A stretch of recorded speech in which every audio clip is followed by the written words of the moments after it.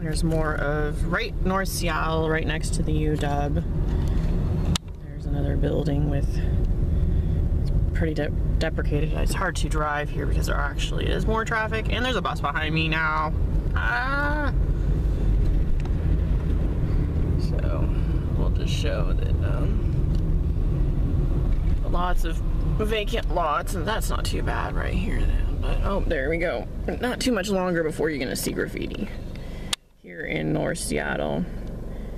Um, another building they're doing that's not being finished. But it's really dark and I'm at a stoplight.